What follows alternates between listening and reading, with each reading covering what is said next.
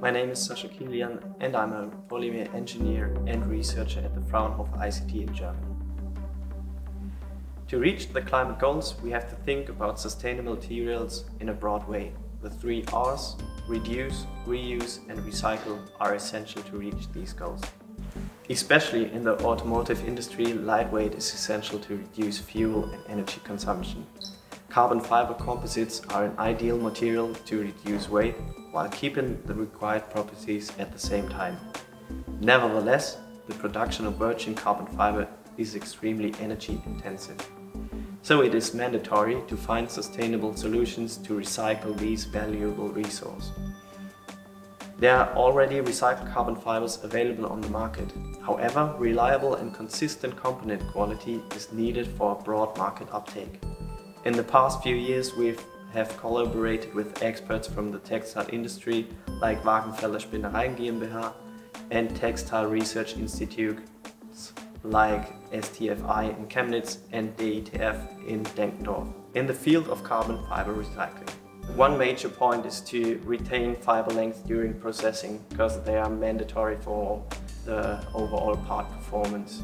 Recently, we have started the technology transfer project reCa-HiT together with our partner the Karlsruhe Institute for Technology in Germany.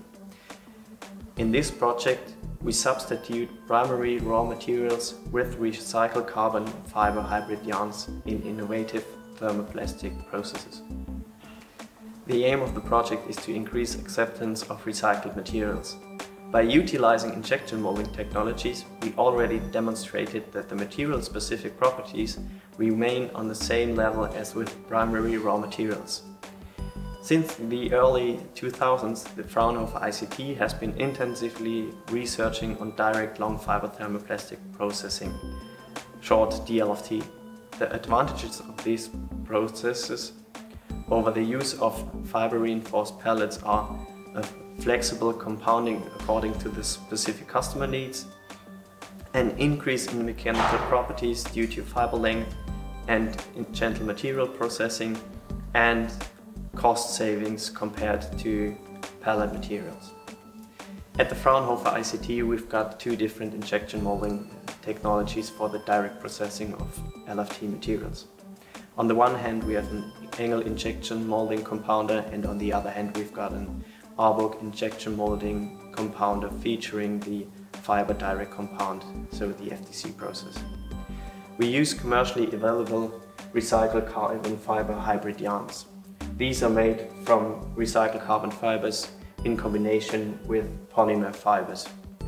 The performance of the recycled fibers in comparison to reference samples made out of primary uh, raw materials is uh, demonstrated by a comprehensive mechanical characterization of the test specimens we produced. An additional weight saving potential is given by the combination of flat semi-finished textile products also made from recycled carbon fibers in combination with DLFT also made from recycled carbon fibers. Therefore we use non-woven fabrics as you can see here or organo sheets also made from recycled carbon fibers. We have already produced several complex shape demonstrators like the seatback structure or the solar panel carrier system. These showed excellent mechanical properties which are on the same level as with primary raw materials. Currently we are closely working together with our partners on the reduction of the necessary process step to get to the semi-finished um, products. This will lead to a further improvement in terms of cost efficiency. The promising results we gained during this project show the potential of recycled carbon fibers to be competitive regarding performance and also costs. Furthermore, significant carbon footprint reduction can be achieved and therefore make a huge step towards sustainability.